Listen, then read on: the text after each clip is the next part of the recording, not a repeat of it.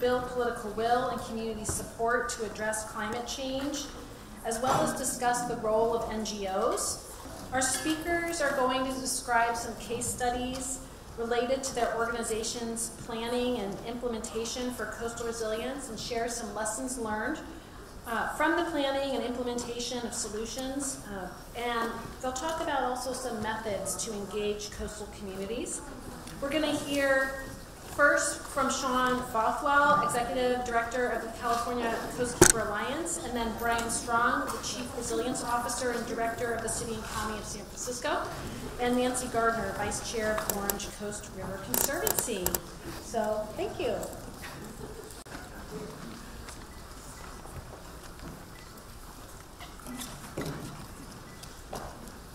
I can see that.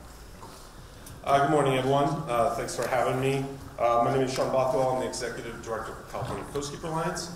Um, for you, for those of you that haven't heard of us or the Waterkeepers, um, California Coastkeeper Alliance was created from our local waterkeepers. Our waterkeepers are very watershed-based um, organizations. We have an Orange County Coastkeeper. You'll be hearing from our Los Angeles Waterkeeper later today. Um, and we pretty much have uh, coverage uh, from San Diego all the way up to Humboldt. Um, it's our job to represent those waterkeepers on statewide level, so we, we work um, in Sacramento, um, and we really think it's important to you know, push on all three branches of government. So we do legislation, uh, we bring litigation when necessary, and we also work with the governor's office and the administration. Uh, mostly Jonathan Bishop, who spoke earlier. I'm his biggest pain in the butt. Um, we work on four major areas. Water quality is our big one, ocean and coastal uh, water supply and uh, healthy watersheds. And in a way, those somewhat all, all overlap.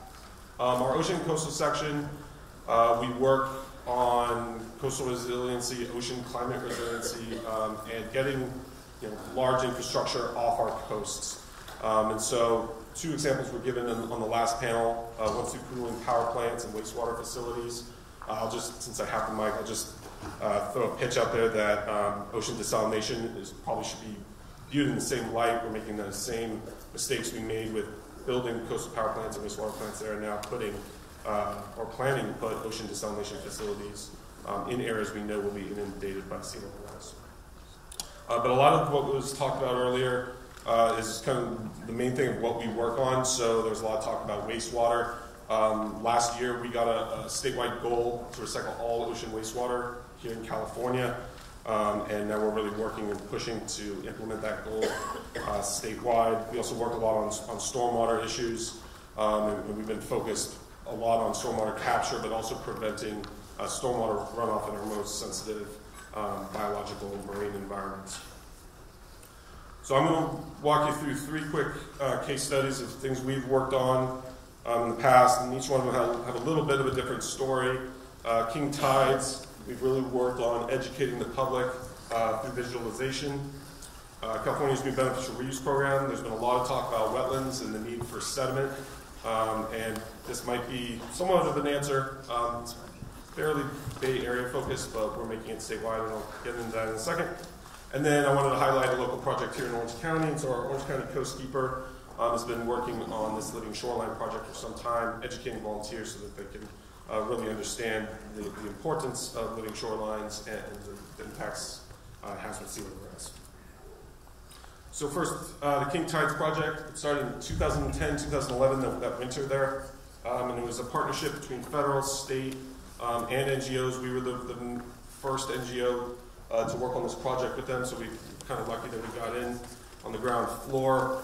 Uh, the idea of the project is really to show the impacts of sea level rise through, through visualization, asking the public to go out um, and take pictures during king tide events. And for those of you who don't know, it's not necessarily a scientific term. It's, it's a, an event that happens in the winter, usually three times, if I'm not mistaken, uh, where the sun and the moon line up in a way that causes about a you know, one foot uh, tide swell. Um, and so if we can also get that during storms, it, it, it's it provides a good opportunity to, to show what our future looks like. And so the project really tries to get folks out there to uh, take pictures so we can understand uh, where we're most at risk of sea level rise. San Francisco isn't in Northern California, but uh, I'm from Orange County, so it is to me. Um, So the Embarcadero there in San Francisco, this big picture, and the one down in the bottom um, are pretty popular places where you can see sea level rise. And I didn't include the picture, but in the bottom one, on the other side of that building, if anyone knows San Francisco where the Ferry Building is, uh, there was a pier that was removed there. That was the first uh, infrastructure that was removed for the exact for the reason of sea level rise uh, caused that pier to be damaged underneath, and they actually had to remove it. This pictures of Central California. We, have talked already this morning about you know at what point do houses get too close to the, to the uh, waves that you know maybe it's time for managed retreat. Some Southern California pictures, and then I got some Orange County ones too.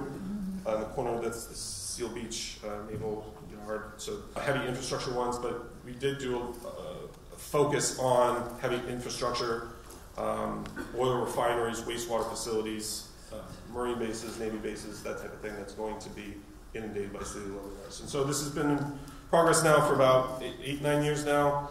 Um, the, the next two are coming up uh, December and early January. Uh, the program's built quite a bit now. It started in California, but now it's on east and west coast of the United States. It's in Canada, New Zealand, Australia, uh, Europe, and Asia. It's, it's now been. Okay, case study two. Um, so this gets to the wetland issue. Uh, real fast, beneficial reuse is taking dredge sediment, clean dredge sediment, um, and using it for wetland restoration. Uh, it's talked about already today that uh, we don't have enough sediment to keep up with sea level rise to help restore our wetlands. Um, and so we've found this problem. And what's going on is that the Army Corps, um, they dredge about 6 million cubic yards of clean dredge sediment each year from our uh, harbors and, and ports in just San Francisco alone. And the Army Corps has a rule that they have to dispose of it the quickest way possible. So what that's meant is they take it out 55 miles out to the ocean and dump it overboard, uh, rather than using it for all these areas. They're in pink. Sorry, the map's a little small. Um, instead of putting it to wetland restoration there, they dump it out to the ocean and just completely waste it. And so we start having meetings with the Corps uh, the California Coastal Conservancy, regional boards, um, and BCDC. Uh, BCDC is kind of like the Coastal Commission for the Bay, for those that don't know. Um, started talking about how we can, can get the Corps to stop. Um, and actually, those agencies every two years come up with a sediment management plan and come up with where they can get uh, dredge sediment and where they can uh, discharge it for uh, wetland restoration. They do that every two years, and every year when the Corps decides what to actually do with it when it comes up with the budget, the federal Corps tells the local regional Corps, no, you're not doing the wetland restoration, dump it out to the ocean. So we start having these meetings, and the Corps agreed that if California were to pay the incremental difference between dumping it out to the ocean and putting it to wetland use, that they would come to an agreement and start to do that. So my organization, a couple of years um, ago, was by a um, assembly member, we introduced the first bill. Um, it was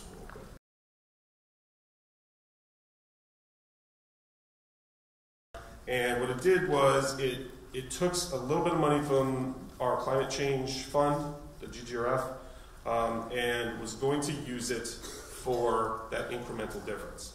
And what we did was we found that that bill, it didn't pass. Um, it, it, it, died in a committee for other reasons. The GGRF was being renegotiated and they just didn't want this bill moving forward.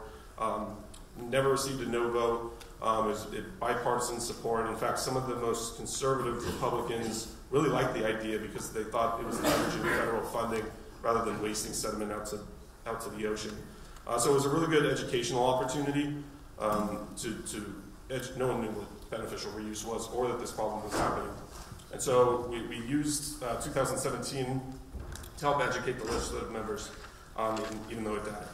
Uh, the next year, we targeted specific uh, assembly members that uh, that worked on the budget, and we got a $6 million allocation uh, for, for a pilot project in the Bay Area. And so they'll take the dredge sediment, they'll transport it, and then they'll be putting it to wetland use. About 100,000 uh, cubic yards of sediment has been used for wetland restoration already. There's a $6 million allocation.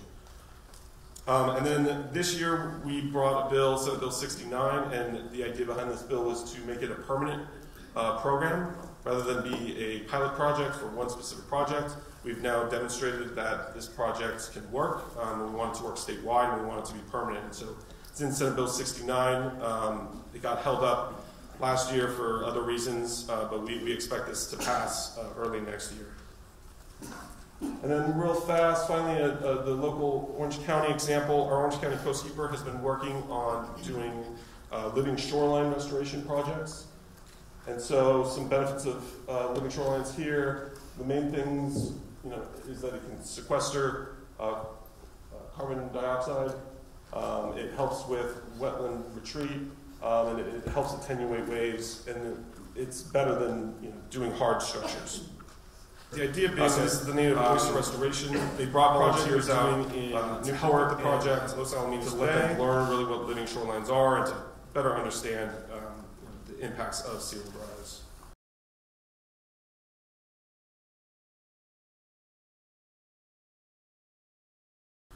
And then their final project is eelgrass restoration.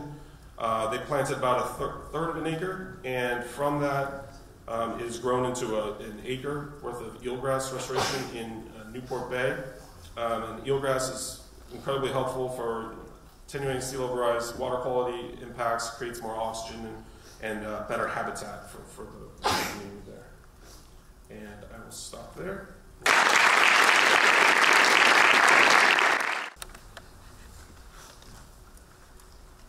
Okay, good, good morning, everyone. Uh, thank you very much. Thanks, Sean. Um, good to, to follow up on that presentation uh, and sort of hear about what's happening uh, with sediment. There's been a lot of uh, looking at those issues in the Bay Area. My background is actually much more in policy, public administration, and finance, especially around infrastructure finance. And then when this sort of job of having a chief resilience officer came along, the mayor and city administrator asked me to do it. All right, so this is just a quick picture. This shows the original bay, uh, the pictures up top. And it was wetlands, and it was the state back about 150 years ago that said we want to create a deep water harbor. Uh, and the idea was to have a deep water harbor so that you could bring commerce to the city. Uh, and that is something that we've had in place for 125 years, and as of late, we know um, we're starting to have to change it. So I will get back to that in a minute. But first, just to mention what resilience is, we've had a lot of discussions about resilience and resiliency. Uh, it's not something new, it's something we've been thinking about in San Francisco certainly since the great earthquake in 1906. Um, but if you look at the challenges that we're facing, and they're up here on the screen, uh, it, it, we can't just focus on climate change. We can't just focus on earthquakes. We have to think about the stressors and some of those things that also come with it. So some of uh, the stressors in San Francisco, and I think around California, especially in coastal communities, is social inequity, uh, unaffordability, aging infrastructure. Those are things that if you don't address them now, um, then after the event or after we're trying to deal with the flood events, it, it's that much harder to overcome. It's hard, that much harder to bounce back, or like we like to say, not just bounce back, but bounce forward, uh, and recognizing that these challenges are coming and how can we manage them in a way that we're addressing equity um, along with uh, along with climate change and along with making uh, the planet better for, for our children and for future generations. Just a picture of, the, of San Francisco and sort of what we're expecting. We did a sea level rise action plan uh, a couple years ago, and actually prior to that we did an interdependency study where we looked at all of our lifeline providers. These are utilities, and we tried to understand how their independent, how their dependencies on each other will be impacted after a large earthquake. Uh, and now we're beginning to look at it after sea level rise as well. And we found that this shoreline of San Francisco is incredibly vulnerable, not just to earthquakes, but to sea level rise. Uh, and this sort of shows a picture of what it is currently. Uh, and then as we move forward, by 2050, this is the high, high scenario, and this is actually the old NRDC numbers, it's not the latest ones um, that Mark was talking about earlier, or actually talked about it last night and a little bit earlier. But this is in, in um, 2050, you can begin to see that uh, First Street, which used to be the first street to the bay in San Francisco, now if you know San Francisco, it's a mile, it's almost it's eight or nine blocks in inland. But you can start to see the flooding that's happening, and especially sort of the BART and Muni tunnels that are bringing hundreds of thousands of people every day to the downtown core of San Francisco. And then if you sort of go another 50 years forward, you begin to see that the entire downtown area is basically inundated, or large swaths of the downtown area is inundated. And we're going back to the original shoreline. I thought there was a really good question before about why are we building seawalls to do these types of things. Um, and we are looking at that as, as the solution for this part of the city, along with other solutions for different areas. And part of it is that San Francisco, um, and this is coming from the state, coming from different, different people as well, needs to remain dense. And I think we recognize that as population growth continues to happen, that there are places where we want that growth to occur. San Francisco is becoming increasingly dense. Uh, we're going to be at about 1, 1.2 million people in the next 15 years, or 15 to 20 years, they're expecting that. So we're growing uh, rapidly. And this is the area where the transportation infrastructure is there, and this is the area where we really want to avoid the urban sprawl um, and the other issues that a lot of my employees and other people are facing just to get to the city. So densification is important. How you do densification, or like like to say, densification without gentrification or without negative impacts, uh, is the challenge. Just to go into the, the, specific project, so the seawall that we have, I mentioned it was built, uh, it's about 3 and 3.2 miles or so, it was built about 125 to 150 years ago in several different segments. Um, it protects about $100 billion in assets and activities. It's, um, you know, it's part of a historic district, so we have historic buildings, a lot of still maritime facilities that are there. Uh, and I mentioned the BART and Muni Railway and utilities. And that's really where we get at some of the equity issues. Most of the jobs, and a lot of the jobs in the Bay Area uh, or in San Francisco are from the southeastern portion of the city where we have lower income residents or from other parts of the Bay Area. Service sector jobs, these are important jobs that we need to preserve uh, from an equity perspective. So the costs around it were about $10 million just in upfront planning to understand it that we did. 490 million was what we were calling immediate life safety issues, and I'll talk a little bit about that in a minute. Uh, and then about $2 billion for seismic needs, that's what we're estimating, and then another $2 billion to make it um, able to withstand or to make it adaptable to sea level rise. We recognize that this, these are expenditures probably over the next 20, 25 to 30 years, um, but recognizing that this is an asset, it's been around for 125 years. I know we like to say life cycles of a lot of our infrastructure 30 years or 40 years or 50 or 60 years, and I like to say aside from sports stadiums, that's usually not the case. So the, the infrastructure that we have, we tend to want to keep for 75, 100 years, um, and we need to to be aware of that and make sure that we're, we're making good decisions. So how do we sort of address this? And I, will come back to the, the bond in a minute that we use, but it's, it's really, you know, creating that goodwill, and part of it is having processes in place. Uh, whether they're infrastructure plans, um, like Mark was mentioning, infrastructure action plans. San Francisco, we have a 10-year capital plan that's really been, been the central point for making decisions. It's constrained. We have money set aside for pre-development to understand how we're going to move projects forward. And we're folding this into, uh, we're folding climate change or climate resilience, earthquake resilience into all aspects of what we do. When we talk about, about the, we have about 300 projects that are proposed to us every year, a very small percentage, maybe 5% of them are addressing sea level rise. And that's because most of our issues are around infrastructure, um, aging, and replacement, or, or demand for new services. Those aren't going to go away, but we need to make sure that climate is incorporated into every one of the decisions that we make. Um, outreach, going to where people are, I'll talk a little bit about that more later. Um, need to understand the role and the uh, ability of communities to be relevant is really what I want to say. I mean, being more than relevant is great, certainly participating is, is exceptional, but just not someone that you come to ask every year or two to say, what are your thoughts on this? And you don't get back to them for another three years with a plan. Um, they really need to be engaged and be part of the process. We've begun to create uh, resilient hubs around the city, mostly around earthquakes, but we do see the symbiosis between earthquakes and climate change and these other issues. Um, focus groups, polling, community meetings, those are all important um, as well. When we did the focus groups around, so we proposed a $450 million uh, seawall bond, and we did focus groups about a year ago, uh, a number of them with different, different parts of the community. These are the words that, that shot up to people. This is what people consistently talk about. Um, homelessness, big issue in San Francisco and around the state. Changing, the fact that our population, we 90,000, or sorry, 60,000 people move into the city every year and 50,000 people move out. Those types of issues. And then you have um, air quality, which is the one climate change one I could find that was there. So, um, finally, when we talked about the bond, you know, credibility was really important. Um, sea level rise, it, it was not able to move people as much as when you started to think about earthquakes. They saw it coming in the future. If you talked about their way to get to work, it made a difference. But it was really these sort of images that moved people. It was immediate impacts. And, and uh, again, this is, this is not something that's fabricated. This is a realistic scenario, but this is really what moved people. So we have to be um, willing to go to those locations. Finally, I just want to say um, this sort of came out in The Economist recently that had a whole article on climate change. Climate is a matter for the whole government, it cannot be shunted off to the Minister of the Environment.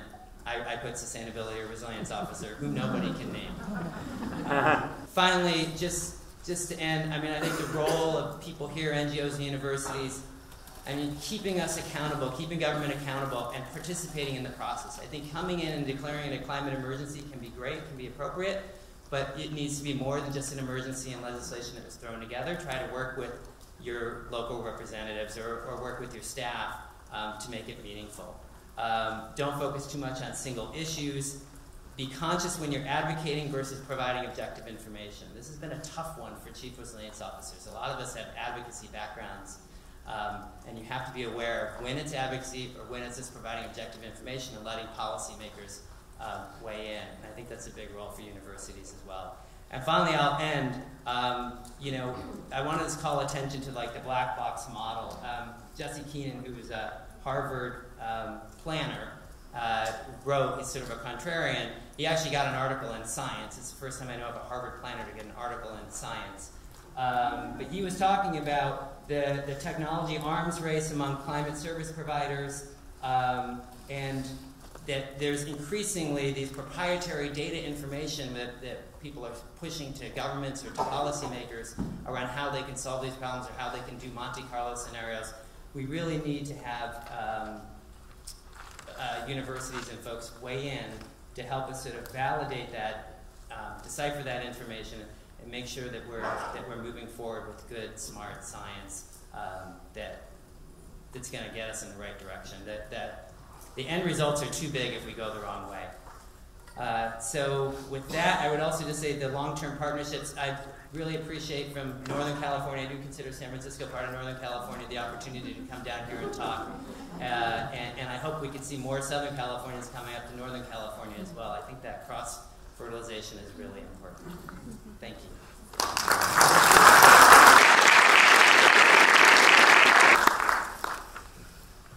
I'm probably the only English major that's going to be up here today. And I'm going to take a different slant. I want to talk about the message and how to craft the message so you sell your project. And I'm not going to say anything you don't know, but I'm going to say a lot of things that we don't do, unfortunately. One of the big problems is that we know we're right. We know we're on the side of history. And that can get in the way of crafting a really good message. We should be just as strategic, as practical, and even cynical as any company with a product to sell. We should put on our marketing hats. And what's the first rule of marketing? Know your audience. If I've got a product for teenagers, I'm not going to feature a bunch of people from the AARP. If I've got presentation that went over gangbusters in liberal, democratic Santa Monica, if I do the exact same presentation, it can very well belly flop in conservative, Republican Newport Beach. So I was asked to give an actual example.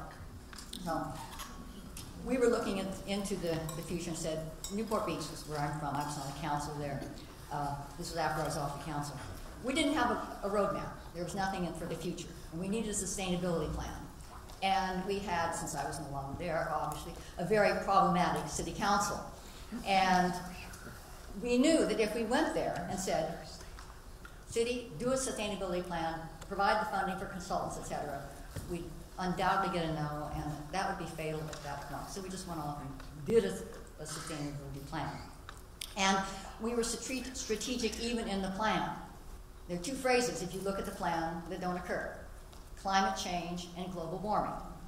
And that may seem strange, except that I knew we had at least one climate denier on the council, and we had several people with Republican political aspirations. You're Republican in the primary, you run to the right, this sort of stuff can still be a third rail. So that would be a big wall for them to climb over. Why handicap ourselves? You can write a plan without those phrases. When it came time to present, it would be nice to have an outside source as an endorser of the plan. Um, Sierra Club doesn't cut any mustard with this group. what kind of arguments are we going to get? No. Well, good, good. Would love to do it, but it's, it's bad for business. yeah, well, okay, so went to the Chamber of Commerce and said, would you support this plan? And I said, well, if you'll make these changes, the changes were not significant. Sure. So during the presentation, the executive director of the chamber is standing next to me. And it's pretty hard for them to say, oh, it's bad for business when the entity that represents business says, hey, this is a good idea. So the presentation itself is thinking strictly of the target audience. This is small government, fiscal responsibility. So first thing, hey, this is not Big Brother. Okay? There are no fees, no new fees, no, no new taxes. Oh, that's mind. Um, talking about, for example, energy consumption. We talk about cutting greenhouse gas emissions. Fake news. Talked about the economics. This is the upfront investment. This is the payback period, and it's all gravy from here on out. Open space.